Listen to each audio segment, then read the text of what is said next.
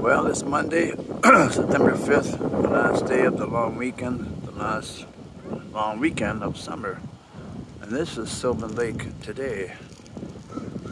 Over the weekend, there are thousands and thousands of people here, all lined up along this beach.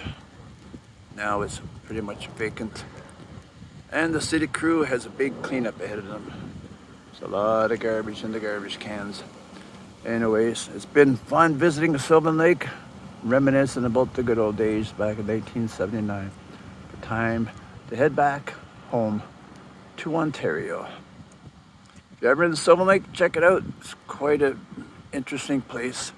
Lots to do, lots to see, lots of pubs, lots of beer, etc., etc. But it's nothing like it was back in 1979, that's for sure.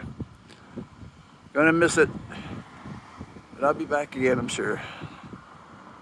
Someday soon. Thanks for watching. Take care.